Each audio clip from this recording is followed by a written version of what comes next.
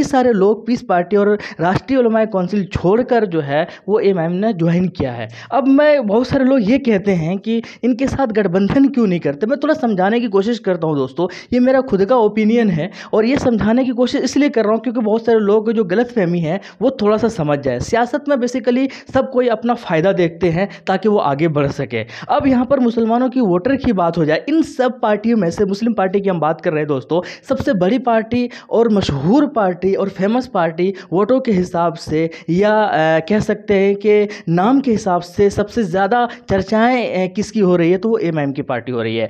अब ए I am I am वाले अगर पीस पार्टी और राष्ट्रीय उलमा कौंसिल से गठबंधन करते हैं तो राष्ट्रीय उलमा कौंसिल और पीस पार्टी को भी सीट चाहिए। मान लो अगर दोनों का 403 सीटों पर तीनों मिलकर चुनाव लड़ते हैं तो भाई राष्ट्रीय उलमा कौंसिल और पीस पार्टी दोनों को वहाँ पर ज़्यादा सीट चाहिए, जहाँ पर मुसलमान का आबादी ज़्यादा है।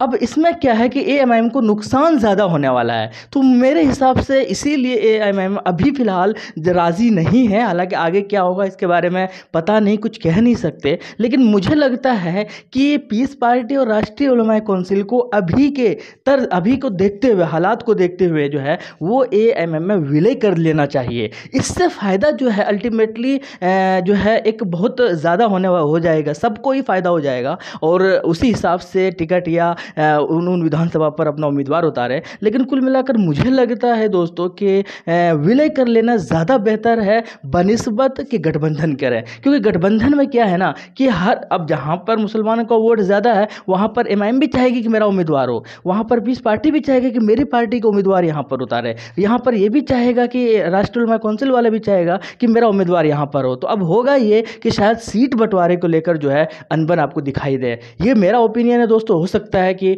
पार्टी कल को डिसीज़न भी ले ले और दोनों सारे मिलकर गठबंधन लड़े। लेकिन मुझे लगता है कि ऐसा हमको नज़र नहीं आ रहा है देखते हुए और शायद राष्ट्रीय काउंसिल और पीस पार्टी के सामने एक अच्छा ऑप्शन है कि हम आपके साथ विलय कर रहे हैं फ़िलहाल। आगे अगर ऐसा होगा, हम अपनी पार्टी अलग से बनाएँगे, लेकिन फ़िलहाल विलय कर लेना शायद ज़्यादा बेहतर हो। आपका क्या कहना है कौन सेक्शन में? ज़रूर बताइएगा अपनी राय को। शुक्रिया, जय हिंद, लव